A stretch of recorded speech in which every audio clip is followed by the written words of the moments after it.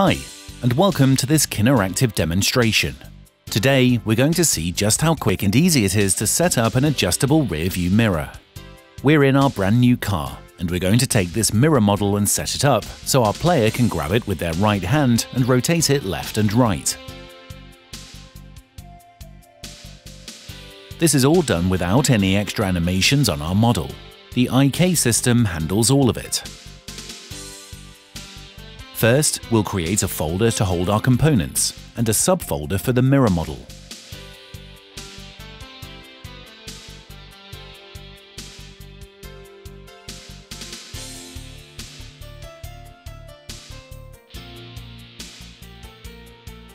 Next, we want to add the analog rotator component.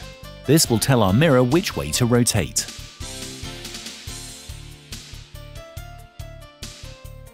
Put the model in the hinge field. Set the rotation speed, and we want to rotate on the y-axis.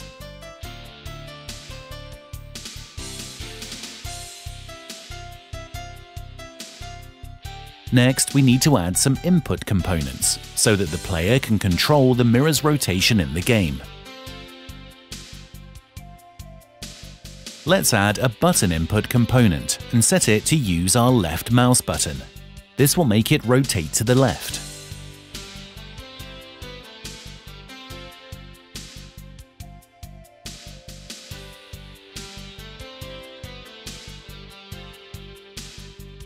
We can clone this game object and set it to use the right mouse button to rotate the mirror to the right.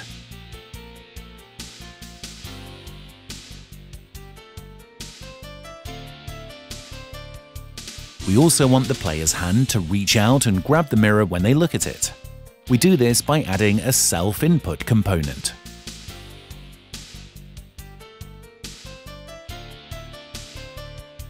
Set this to use the right hand. Now we have to set the position of where the player's hand should grab. The easiest way to do this is by using this holographic hand prefab.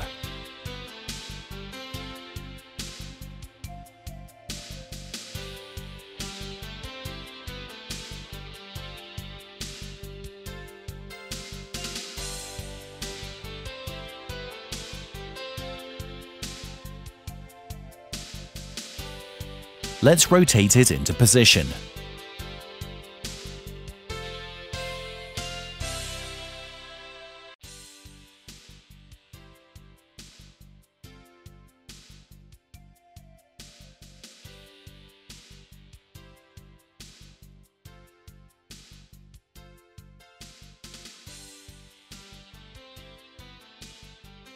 Just here looks good.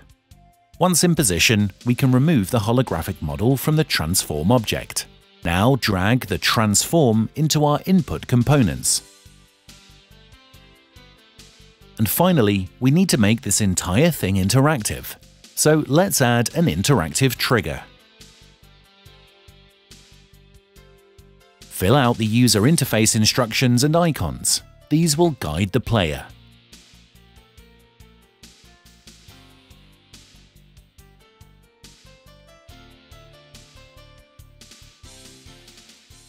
Lastly, drag our three inputs into the interactive trigger. And we're done. Let's press play and see it in action. If we look at the mirror, our right hand reaches out and grabs the mirror. If we look away, the hand returns to the steering wheel. If we press our mouse buttons while looking at the mirror, we can rotate the mirror to any position we like. And that's how easy it is. For detailed tutorials, visit the Clean Shirt Labs YouTube channel.